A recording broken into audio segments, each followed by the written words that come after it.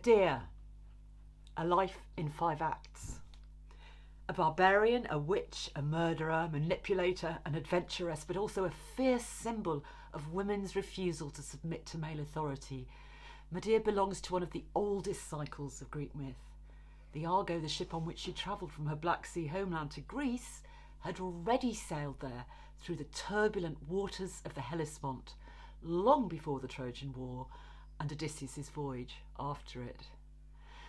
The 6th century BCE saw the rise of the Medes and the subsequent Medo Persian Empire, with which Medea's name naturally became associated.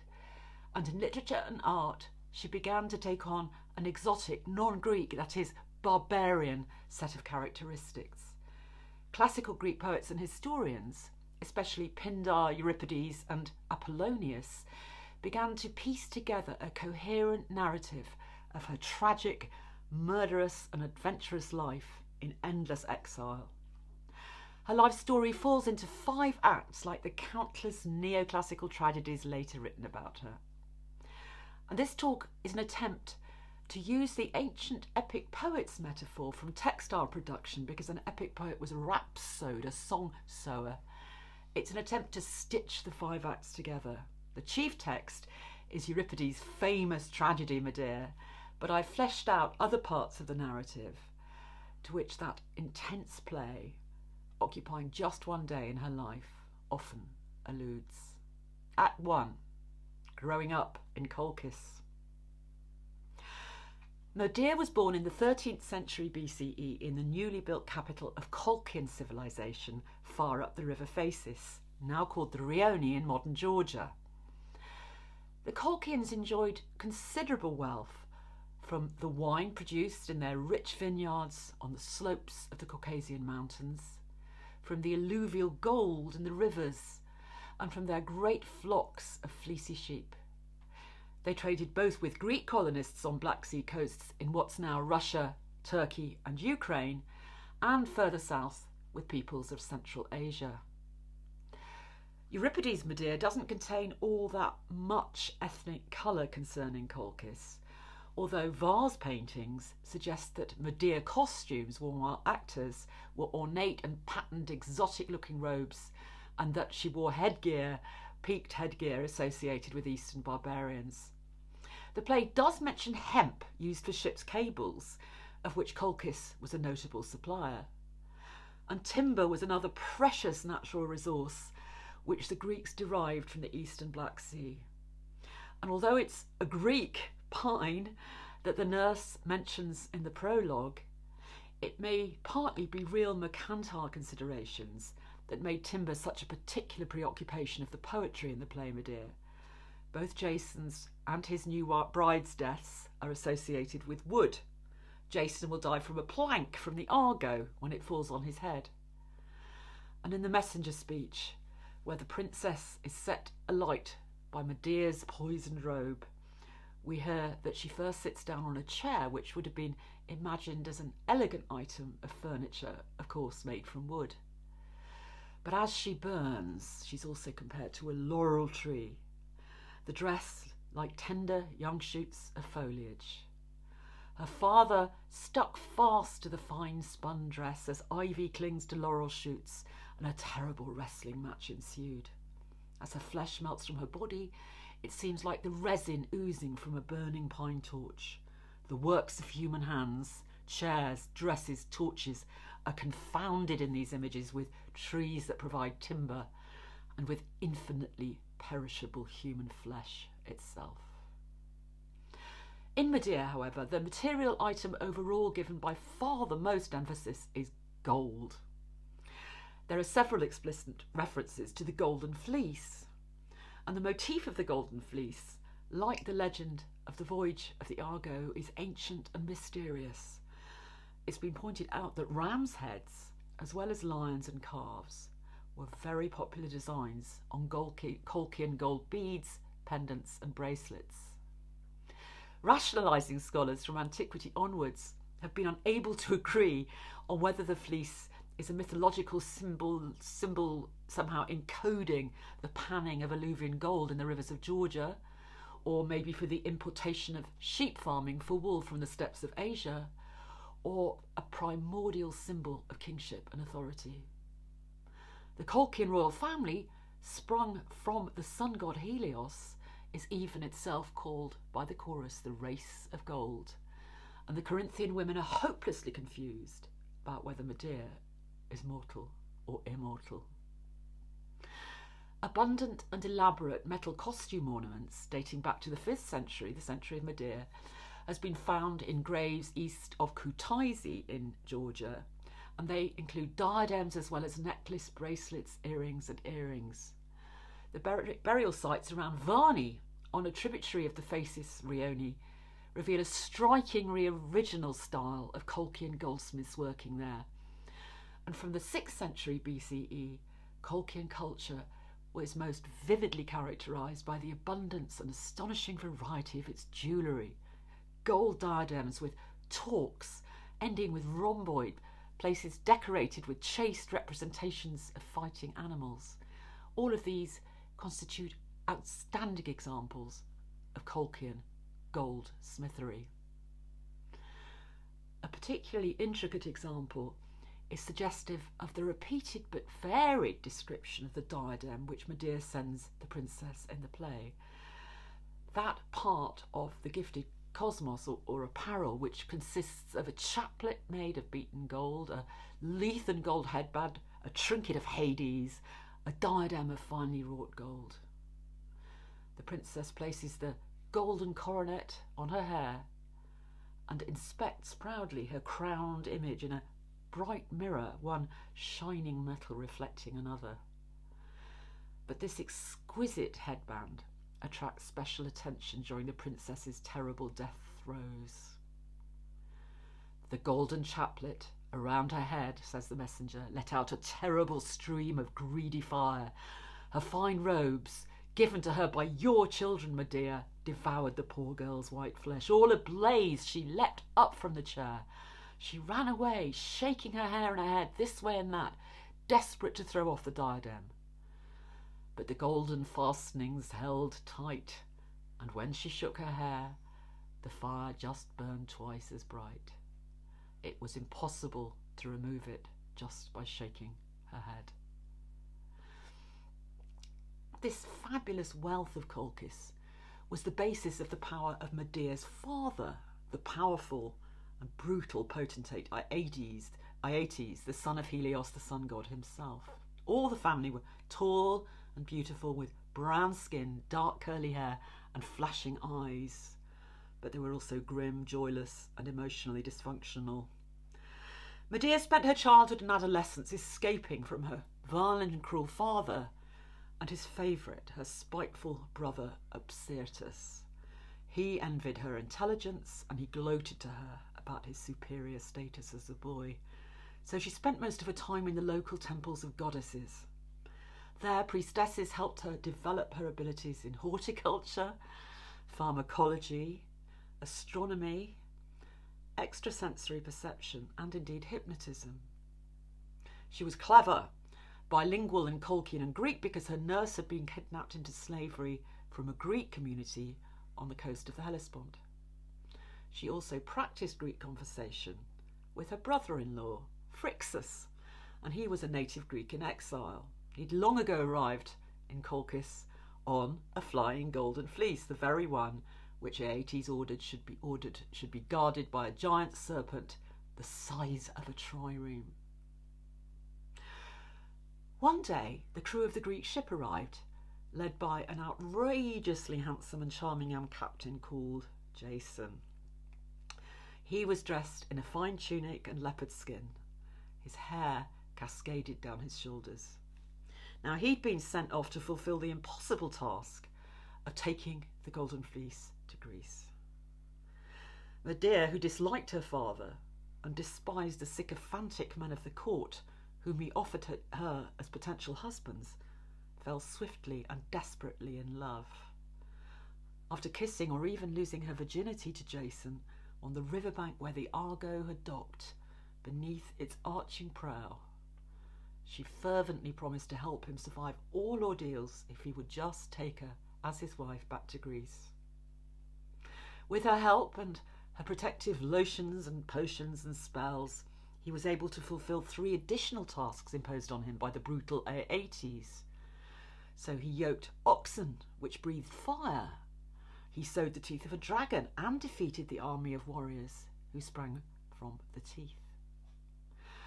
He was really amazed by Medea's supernatural abilities and realised she would be an enormous asset.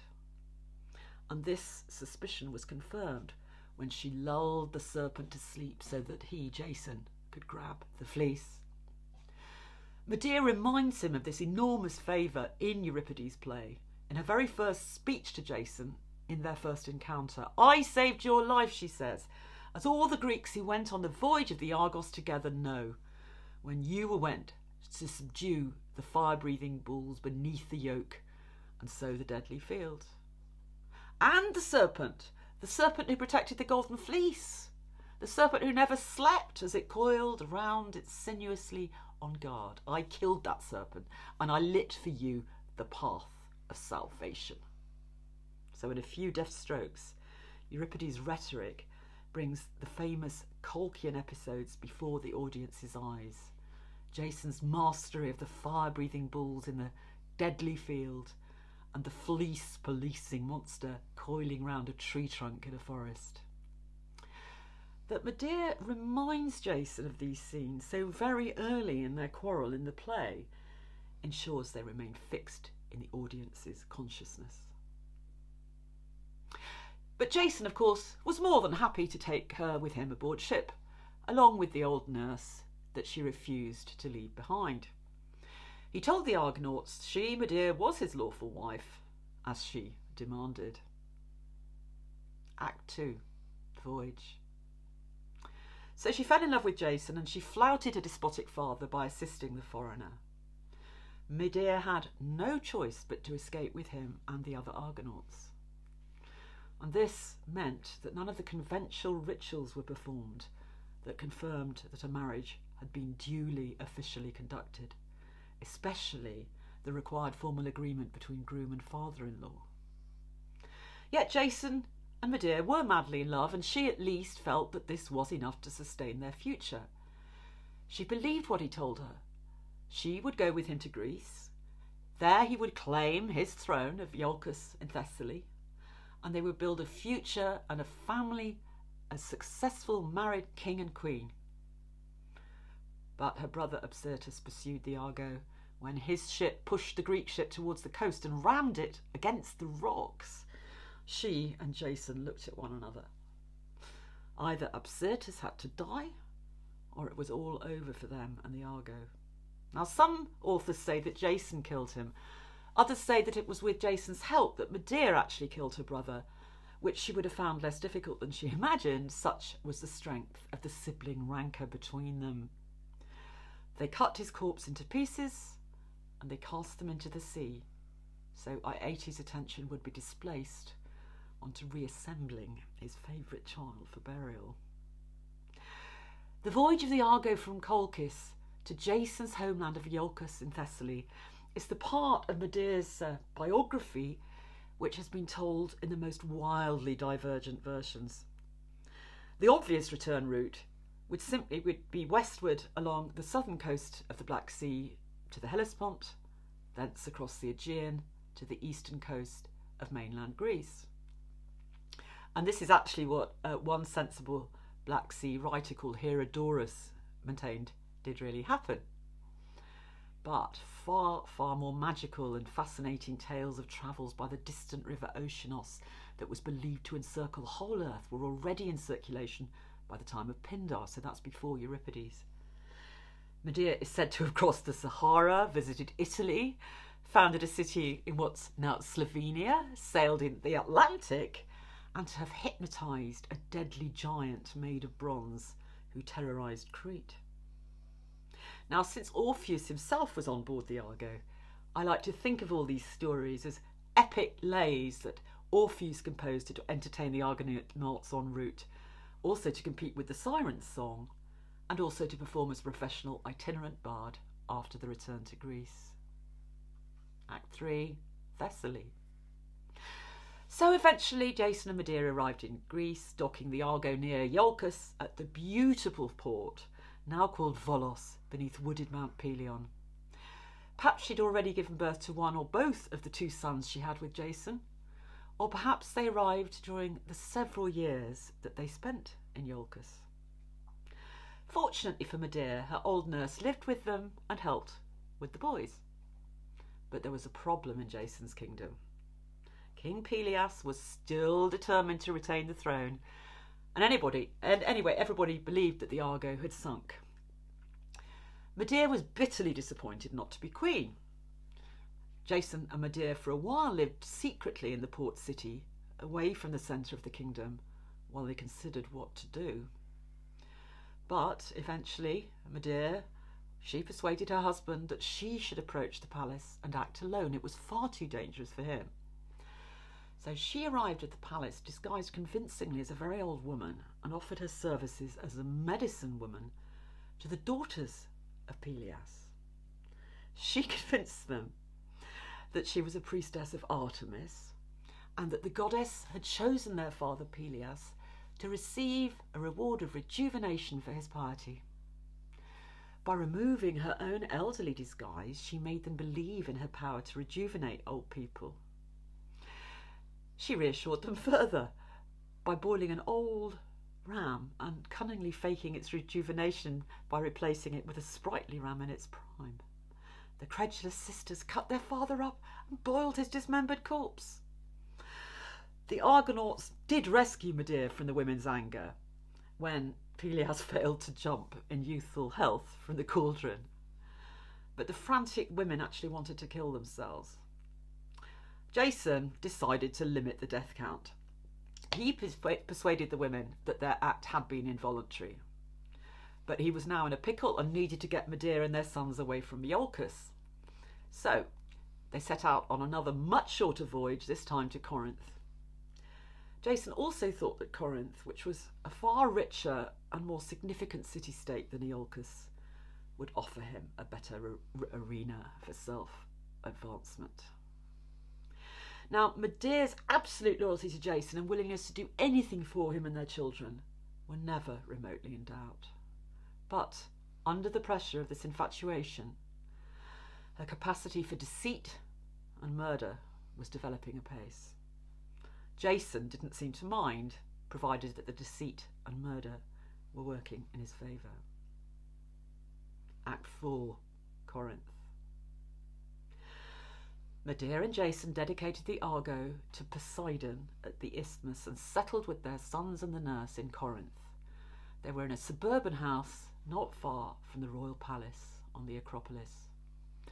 They had enough money remaining from the spoils they'd accumulated during the voyage to fund quite a reasonable standard of living. And Medea was happy enough. Uh, she soon made a reputation for herself as a very clever woman, well versed in herbal remedies. She made friends among many local women. Her sons were now of an age, probably about seven and eight, to need a male tutor, and a local man was found and hired. The boys liked him. But the ambitious and narcissistic Jason just could not accept this quiet life away from the centre of politics and public attention. He took pains to ingratiate himself at the royal court and he didn't even openly acknowledge that Medea was his lawful wedded wife, nor did he ever take her with him to court.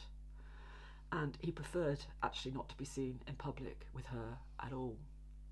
She remained a virtual prisoner in the home, a foreign woman, suspected by many. Her women friends had to come to visit her, as they do in the play. One terrible day, Jason told her that he was going to marry the daughter of the Corinthian king. Creon. Creon had no sons. His son in law would inherit the throne. Jason didn't have a problem with sharing a bedroom with a 16 year old girl either.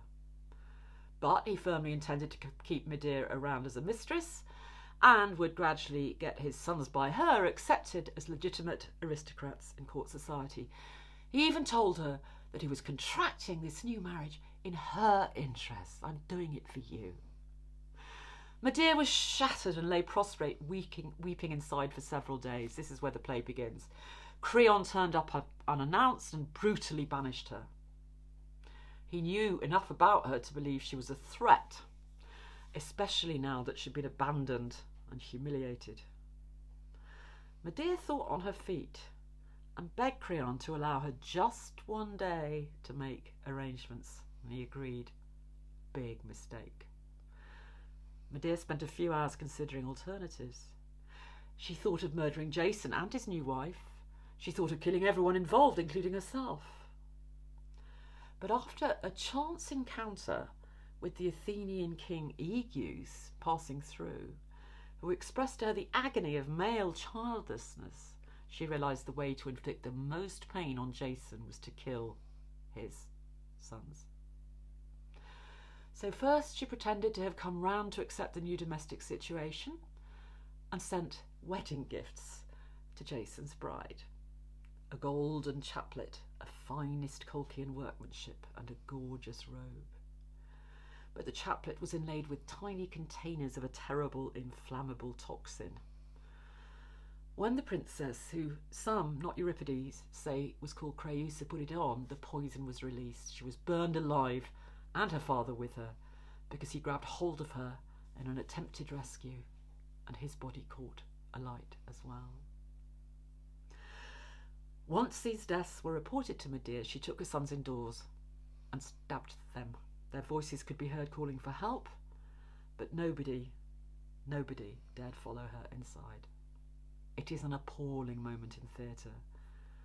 Medea is the most immediately accessible of all Greek tragedies because the relationships it portrays in this divorce drama are so fundamental and there's the figure of the child harming woman, especially the mother who actually kills her own children, the filicidal mother, is the most reviled in our cultural repertoire of villains.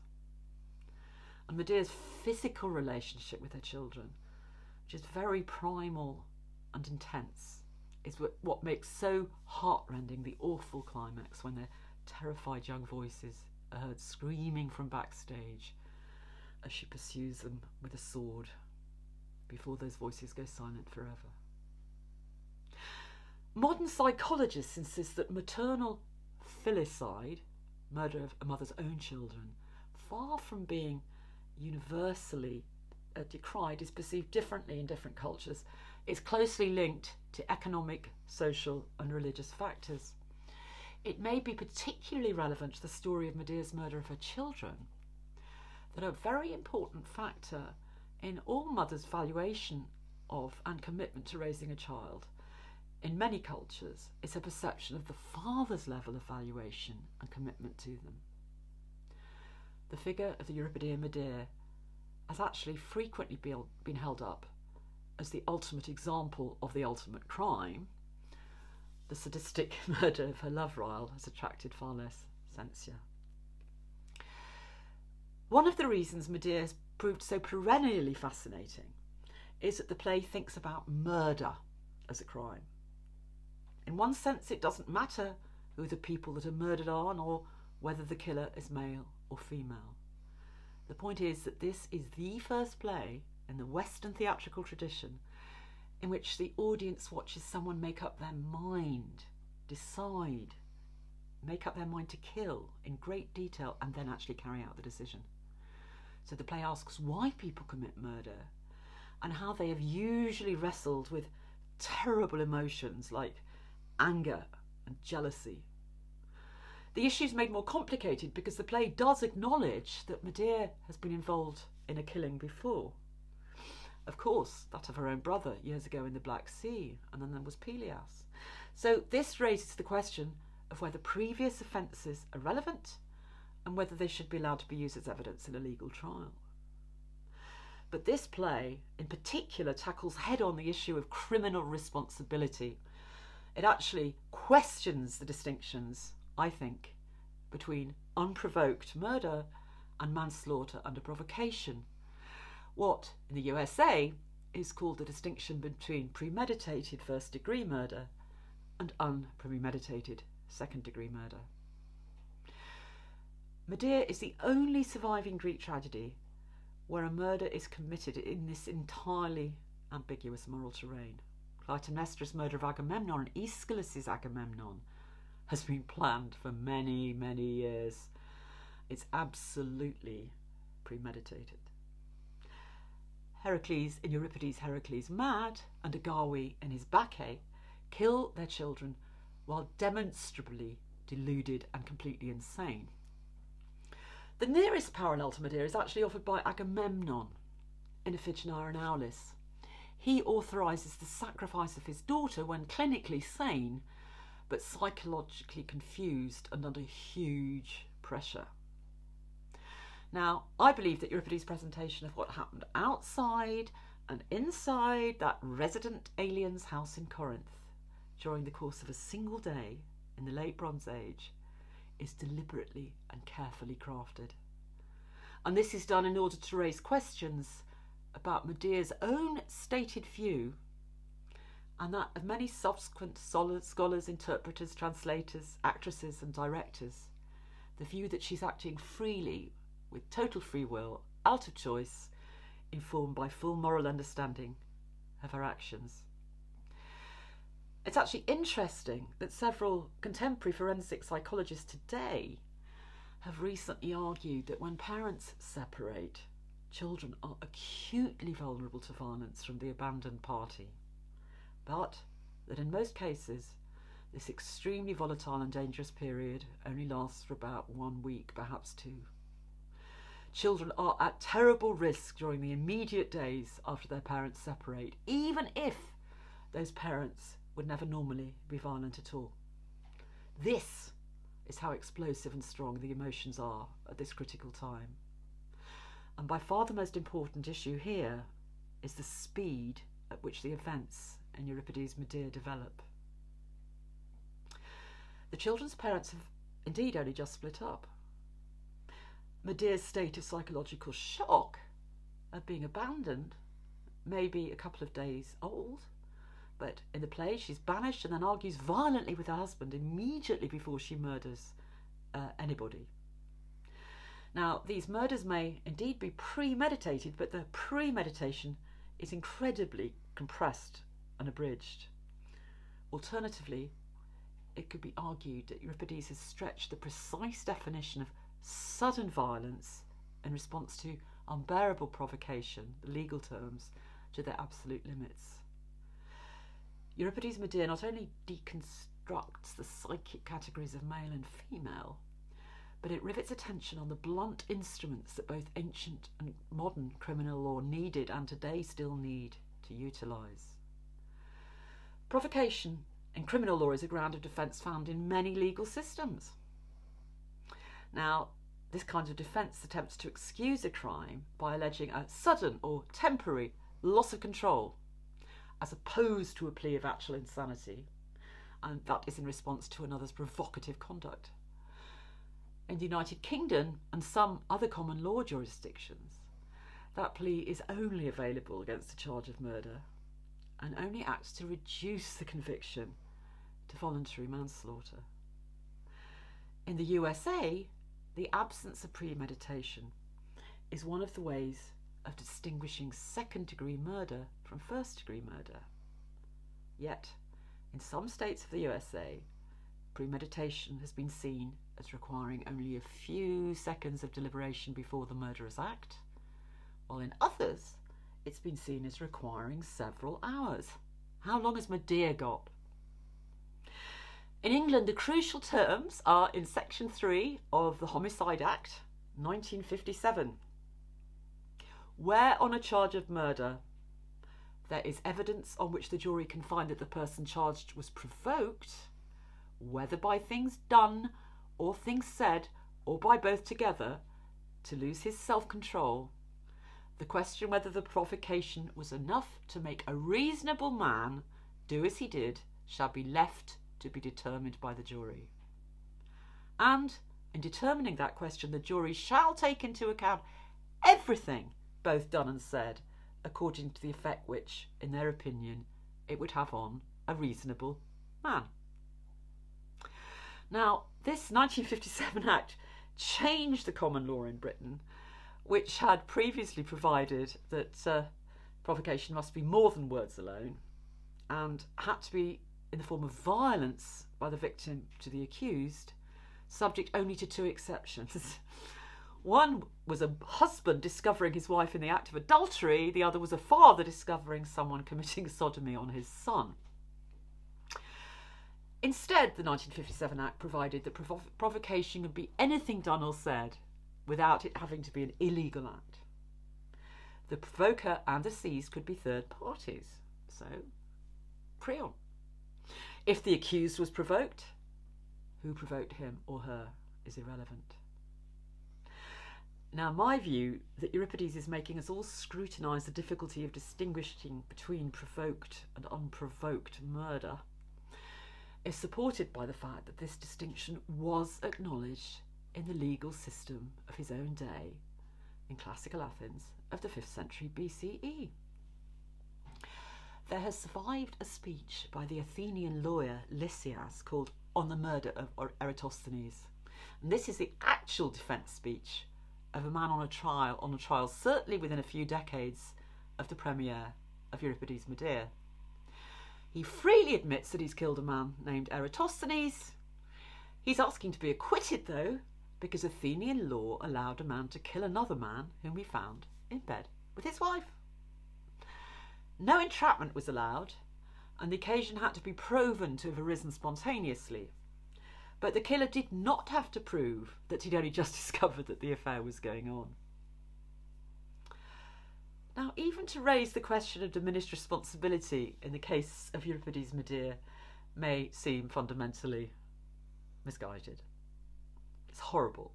And at the point that she finally makes up her mind to commit child murder, she notoriously states that although she's well aware that what she's going to do is wrong, her internal organ of passionate emotion, what the Greeks called her thumos, has overwhelmed or conquered the conclusions to which her deliberations have or would lead her. That is, her emotion has overwhelmed, conquered her reason. These two iambic lines, actually favourites of ancient philosophers, explicitly frame her as the protagonist in the earliest known version of any Greek myth to make a mother kill her own children knowingly. This shocking turn was almost certainly Euripides' own invention in 431 BCE, and it was a shocking departure from the ancient convention by which filicidal parents were exonerated up to a point by a fit of madness at the time of the commission of the crime. And the two great examples, of course, are Heracles in Heracles Mad and Agave in the Bacchae. But does the play imply that Medea has really been able to think clearly about what she's doing? At the beginning, we hear that Jason and Medea arrived in Corinth as man and wife some time ago. Medea is described by the nurse as someone who has won a warm welcome from her new fellow citizens and seeks to please her husband in all she does. But at the moment when the play opens, Jason has, it seems, just a day or two ago, abandoned Medea to marry instead the Corinthian princess, the daughter of Creon. Now, the exact timing of the wedding rituals is left very ambiguous. Now, that's partly because there was no one exact minute in ancient Athenian law when a couple became completely married legally. Uh, that is, at least until the birth of the first child acknowledged as his by the father. It took a long time. Medea's been lying prostrate and unfed ever since she heard the news that she had just lately, is the words, abandoned by her husband. So this is for a period of time which can't be understood as more than hours or a few days at the very most. She'd have died of starvation. Although her nurse is terrified of what she may do and feels fear of a general kind on behalf of the children, until after the Aegeus scene, that is, until more than halfway through the play, there's only one suggestion that the children are in serious danger. And that suggestion is Medea's own inclusive curse, but on her whole family, comprising the children, herself as the wretched mother, the father, and the whole household. The occurrence that actually precipitates her into action of any kind is Creon's arrival to announce her banishment with immediate effect. And all the rest of the events of the play then accelerate over a matter of the very few hours' grace she succeeds in extracting from Creon. The exile decree is certainly a measure which has only just been taken, since it's to announce Creon's decision that the tutor arrives. The immediate impact on Medea of this fresh blow that the play dramatises. Medea commits all the murders during the same day she receives this news. She has less than 24 hours to find a solution. It could be argued by a barrister this is really unbearable psychological pressure. In the wake of the atrocity, Jason soon arrived from the palace. He demanded to be let in. Medea had one more piece of wizardry in store. Despite her skill in medicine and incantations, Jason had as always thought she was an all too human woman. But now she arrived over his head on a magical flying chariot lent to her by her grandfather Helios, the sun god. Jason realised that she wasn't just inhuman and inhumane, she was superhuman. She held conversations with gods. The boys' corpses were dangling from the chariot. She taunted Jason. She refused to let him touch them. She flew off to bury them at Hera's beautiful sanctuary at Acraia, across the Corinthian Gulf, and then resumed her flight path to Athens. Act 5 Athens. Medea landed in Athens, the third Greek city in succession in which she'd arrived as an exile. When she'd met Aegeus in Corinth, he'd promised to offer her sanctuary if she was indeed banished from Corinth. She presumably returned the chariot to Helios, threw herself in Athens on Aegeus' mercy. Now, Medea had learned from Jason about opportunistic marriages into royal families. Aegeus was a sad and elderly widow, widower, and no match for this articulate and beautiful woman who craved security, a royal home, and another child. She'd also decided never, ever again to marry a man who was her equal in either looks or brains. Aegeus married her almost immediately on her arrival, to the consternation of his people. They had heard rumours about what had happened in both Iolcus and in Corinth. Now, although Aegeus believed he'd never succeeded in impregnating a woman before, Medea knew exactly how to make him sexually active enough to father a child on her. Nine months after the wedding, she produced a baby son, whom Aegeus even allowed her to call Medus. Usually, boy children took names from their father's family tree rather than the mother's. Some people even alleged in whispers around Athens that the son was not his, but Jason's. Perhaps he was. Medea wasn't telling them and did not care. She was safe, living in a fine palace near the Athenian Acropolis. She was wealthy, generally respected or at least obeyed, and, crucially, a mother again. Moreover, her son would one day, she believed, succeed Aegeus because he had produced no previous children. Or had he? Medea's final banishment was the consequence of the arrival of Theseus in town. Theseus was a handsome, athletic, and ambitious youth who'd already succeeded in modelling himself on Heracles, killing various brigands and monstrous animals. When he turned up at the Athenian court, the omniscient, or at least hyper perceptive Medea realised that he was Theseus, Aegeus' son. Aegeus had once slept with the daughter of a king in Troezen in the Peloponnese. So, however, at about the same time had the god of the sea, Poseidon. One or other of them was Theseus's father. Medea had to act. Remembering Pelias's tactic of trying to wipe out a younger rival when he sent Jason off on the quest for the Golden Fleece, she persuaded Aegeus to command Theseus to capture the vicious, fire breathing, man eating, cannibalistic bull of Marathon but unfortunately for her, the powerful youth dispatched this task with almost casual speed and brutality. So next she tried to poison Theseus. But her criminal career and life amongst Greek aristocrats now stalled forever.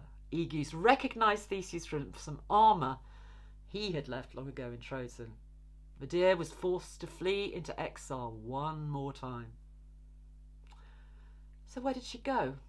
Some say she borrowed that cha- magical chariot again and returned to her homeland in Colchis with her son, Medus. She would have been safe there now because her father was long dead. And Medus did later become the ancestor of the Medes of Central Asia, and so Media, Medea founded a family line that rose to be a world superpower. Other authors claim that she lived quietly in the far north of Greece, dispensing herbs to local peasant farmers. But there is no record anywhere that she ever died. Perhaps the divine element in her nature gave her immortality, and she's still out there somewhere today. But whatever happened to this complicated person, she certainly lived on in the world's imagination. Ovid and Seneca both wrote plays about her. St. Augustine performed her in a North African theatre during his pagan youth. Medieval fabulists both demonised and praised her. As soon as Euripides' tragedy was rediscovered in the Renaissance, she began to exert a powerful influence over all the Western arts, especially painting, theatre, and opera. Medea now shocks audiences in theatres across the planet, but she will always divide us. Her crimes were appalling. But ancient authors succeeded in showing how they were the desperate expedients of a highly able woman living under unbearable patriarchal constraints. Medea was oppressed by her father and brother. She was frustrated by Pelias' tyrannical refusal to recognise Jason's claim to the throne. She was exploited, she was exposed to racist and sexist abuse and humiliated by Jason. She was brutally banished with Creon and then insulted at the speed at which her decrepit second husband lost interest in her and their baby when his older son turned up. It is impossible not to admire her spirit and her refusal to give up in each of the serial predicaments in which she found herself, even though the vicious, murderous strategies to which she resorted atrociously slaughtered more innocent people than guilty ones. Thank you.